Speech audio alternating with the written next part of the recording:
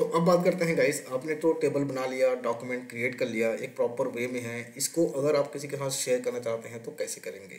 ठीक है?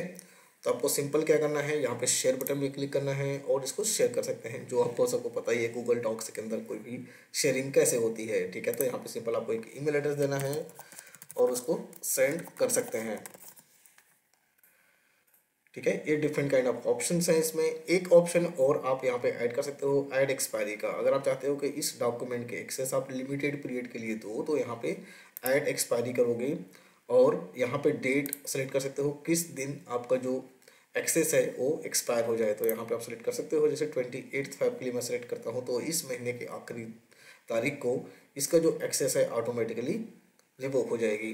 और इसको मैं सेंड कर सकता हूँ। तो इस तरीके से भी आप इस फ़ाइल के एक्सेस शेयर कर सकते हैं।